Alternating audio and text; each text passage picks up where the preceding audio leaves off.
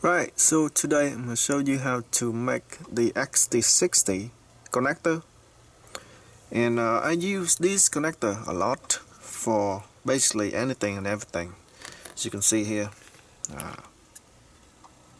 weird looking jumpstart battery pack. This is the RC battery pack. Another RC battery pack. This battery is for an LED panel and uh, let me show you another one I have here. My homemade LED panel also powered by a battery pack and this connector. So basically I use uh, almost anything that runs on the battery I use this connector. It's designed for an RC toy but you can basically use it for anything. So let's get started. So for this project I'm to use size 10 uh, wire. This is the biggest wire you can fit onto the connector. Can't go any bigger and it's really tight. That way you can get the maximum amount of current going through uh, the connector and the wire. Alright, so first let's talk about the um, the connector itself. Uh, you got two connectors here. Okay one on the left is a male connector. On the right is a female connector. And you always connect the battery pack to a female connector okay? And on the connector itself it's got positive and negative terminal. The positive you can see here it's got a square side. One side is square the other side is kind of roundish it's got a cut at the corners to distinguish between the two terminal. And also so that when you plug it in you don't mess it up. Only one way to plug it in okay? The square side is always the positive terminal okay? So the red wire there is a positive terminal. The round side is the negative terminal. You can see here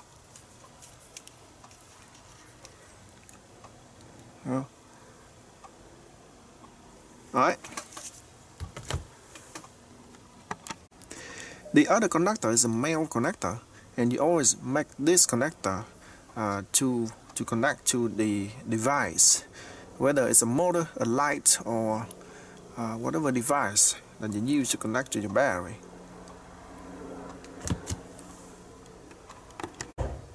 Alright, so this time I'm going to make the uh, uh, connector for my battery pack here. It's to be a female connector. And uh, I have some liquid rosin flux here.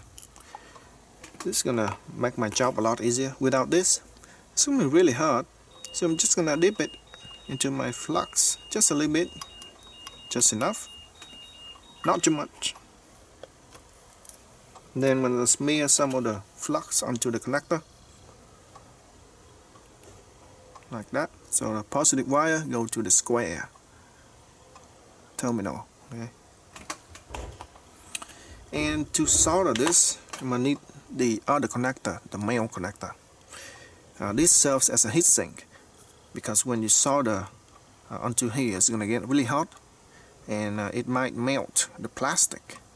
So you want to uh, use another connector hook it up like this so the other connector will serve as a heat sink so we'll draw the heat away from the connector so it won't melt the plastic. I got my third hand here ready to solder.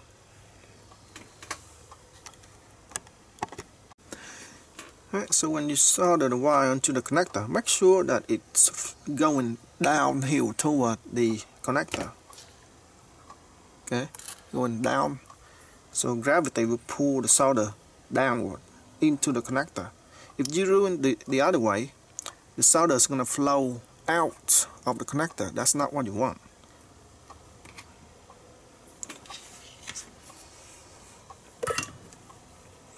So, let's solder this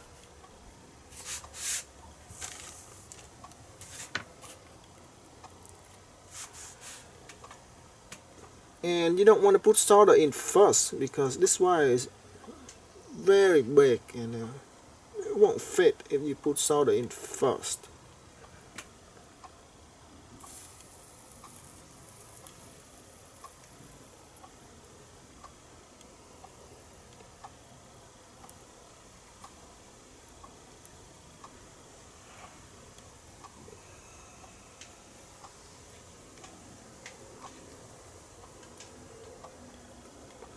Bit more solder here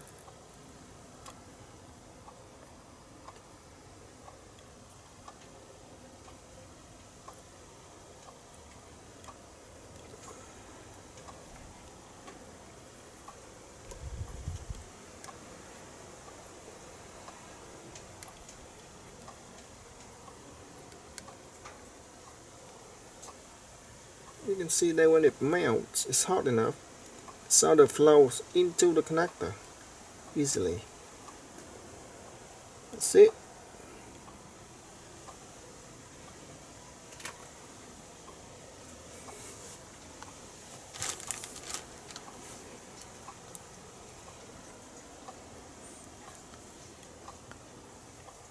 Alright, job done here. So next is the heatsink.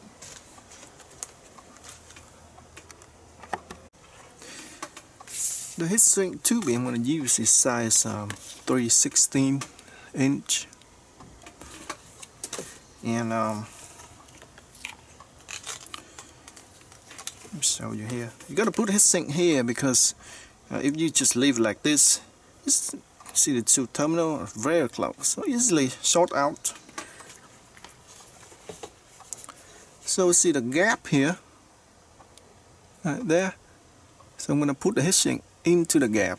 Problem is, um, is just a little bit bigger than the gap. So, what gotta do, yeah, let me show you here. Push in the gap, won't fit. What you gonna do is just heat it up a little bit, just on one end. Okay? Heat it up just on one end, so we'll shrink just on one end.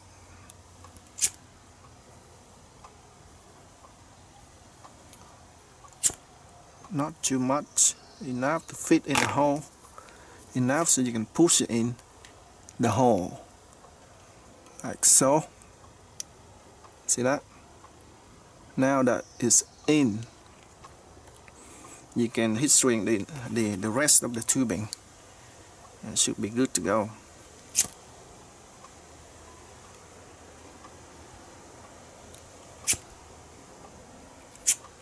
I find it's uh, a lot easier to use uh, this than the um, the heat gun.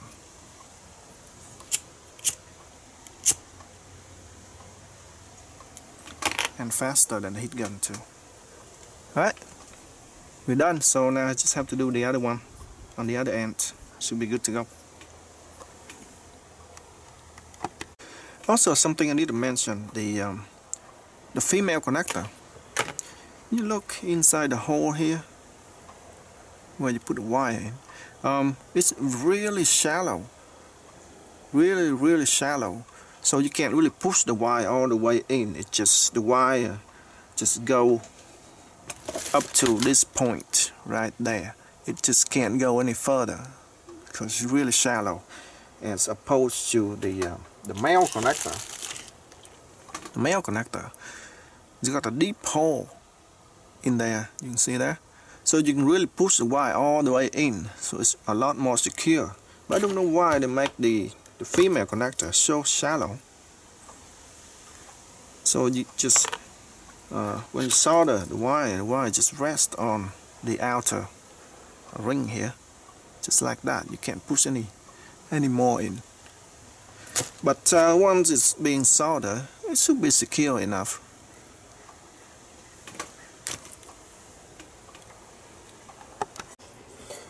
Alright, so I think I'm done now.